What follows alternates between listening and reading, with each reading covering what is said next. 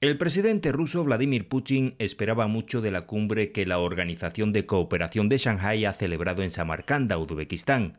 A raíz de la invasión de Ucrania, Rusia se ha convertido en un estado paria para Occidente y esta era una ocasión propicia para sacar músculo y plantarle cara, rodeado de un nutrido grupo de amigos.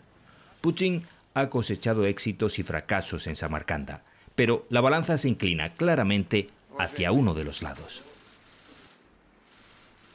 La OCS es una organización de carácter eminentemente asiático que gira en torno a Rusia y China y que tiene como vocación contrarrestar la influencia de Occidente en materia de seguridad, economía y cultura. Cuando nació en 2001 la integraban cinco miembros y ahora son nueve.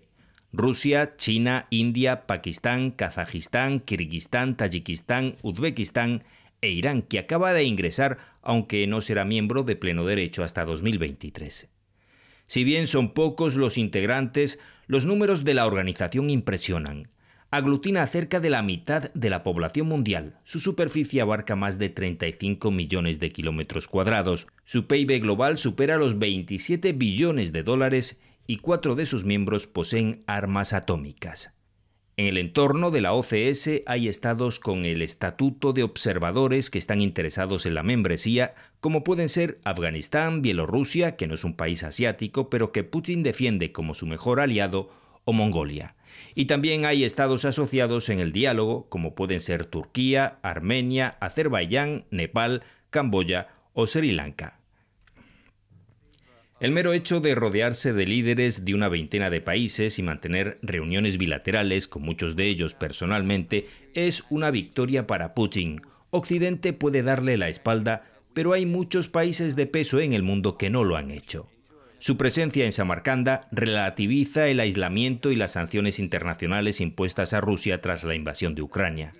Además, Putin ha conseguido que cale su mensaje sobre la necesidad de un mundo multipolar. Sus críticas al unilateralismo de Estados Unidos en particular y de Occidente en general han sido respaldadas por otros mandatarios presentes en la cita.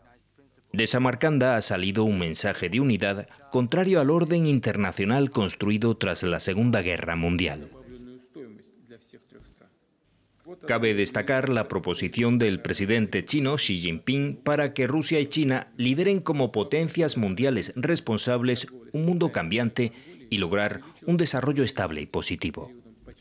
Por último, el hecho de que Irán haya dado un paso más hacia la integración en la OCS refuerza el carácter antioccidental de una organización que en las próximas décadas acaparará buena parte del crecimiento económico del planeta. Pero si esa fue la cara de la participación de Putin en la cumbre de la OCS, la cruz le resulta difícilmente llevadera. Xi Jinping sigue sin apoyar expresamente la guerra contra Ucrania. Tampoco la ha condenado. Ante su estruendoso silencio, el líder ruso declaró públicamente que entiende las preguntas y las preocupaciones del presidente chino sobre la llamada Operación Militar Especial en la antigua República Soviética de Ucrania. Putin también tuvo que soportar las críticas del primer ministro de la India, Narendra Modi.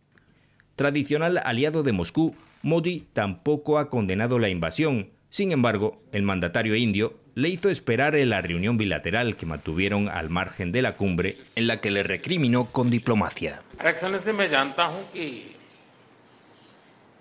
आज का युग युद्ध का है नहीं और हमने फोन पर भी कई बार आपसे इस विषय में बात की है कि डेमोक्रेसी और डिप्लोमेसी और डायलॉग ये सारी बातें ऐसी हैं कि जो दुनिया को एक स्पर्श करती है आने वाले Putin encajó el golpe y echó balones fuera.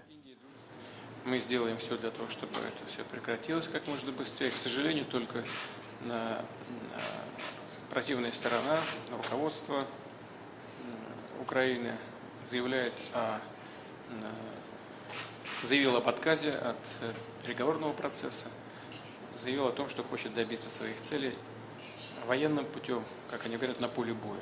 Но... Моди и Ши no han sido los únicos líderes a los que Putin ha tenido que decir que entiende su preocupación. Kazajistán, otrora gran aliado de Rusia en el sur, se ha negado abiertamente a apoyar la invasión de Ucrania y a reconocer las autoproclamadas repúblicas de Lugansk y Donetsk. Además, ha prohibido la exhibición de cualquier símbolo de la propaganda militar rusa durante el conflicto. Moscú, que a principios de año desplegó tropas en Kazajistán para aplacar un conato de revuelta popular contra el presidente Tokayev, no esconde su frustración. Algunos medios rusos han llegado a afirmar que una empresa kazaja suministra armas de concepción soviética a Ucrania, algo que el gobierno kazajo niega. Tokayev tiene otros planes en mente para el desarrollo de Kazajistán y pasan por profundizar sus relaciones con China y con la Unión Europea. No es baladí el hecho de que el presidente chino escogiera Nur Sultán para hacer su primer viaje al extranjero en más de dos años. Kazajistán es una pieza fundamental de la nueva ruta de la seda, el colosal proyecto de Xi Jinping para reforzar el comercio de China con el resto del mundo. Para colmo de desdichas putinianas, la cumbre ha tenido como tenso telón de fondo las refriegas entre cuatro antiguas repúblicas soviéticas que parecen haber aprovechado la debilidad que muestra Rusia en la guerra en Ucrania para saldar cuentas entre ellas. Armenia y Azerbaiyán, que participan como países asociados a la OCS, han reavivado las disputas fronterizas con una serie de ataques que han dejado más de 200 muertos si se suman las bajas propias reconocidas por ambos bandos. Ereván y Bakú se acusan mutuamente de haber iniciado los combates. Armenia invocó sin éxito el artículo 4 de la Organización del Tratado de Seguridad Colectiva para que Rusia acudiera en su auxilio.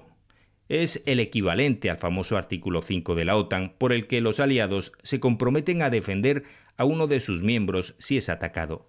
Pero Moscú, que muestra signos de agotamiento militar en Ucrania, ha hecho la vista gorda. Ambas partes pactaron un alto el fuego tras la mediación de Rusia, de la Unión Europea y de Estados Unidos. Por otra parte, Kirguistán y Tayikistán han mantenido un intercambio de fuego de artillería y de acusaciones mutuas sobre quién disparó primero. La refriega ha dejado varios muertos y se ha cerrado con un frágil alto el fuego que puede saltar por los aires en cualquier momento. Estos dos países estuvieron al borde de la guerra el año pasado y Rusia no parece estar en condiciones de ejercer de policía en toda la región. La declaración final de la OCS ha buscado un difícil equilibrio entre las críticas abiertas al unilateralismo occidental y un repudio mudo a la guerra en Ucrania. Putin esperaba más un espaldarazo que un estruendoso silencio. Solo Bielorrusia, la última dictadura en suelo europeo, apoya abiertamente la invasión. Sin mencionar Ucrania, la OCS se ha pronunciado a favor del arreglo político y diplomático de los conflictos bajo el estricto cumplimiento de las normas y principios del derecho internacional universalmente aceptados. En el haber de Putin están las denuncias de la OCS contra las sanciones económicas que se imponen al margen del Consejo de Seguridad de la ONU, un organismo, hay que recordar, en el que Rusia y China tienen derecho de veto. En el debe del mandatario ruso están la erosión de la imagen de invencibilidad de su ejército y de Rusia como socio fiable para ganar la guerra o para imponer la paz.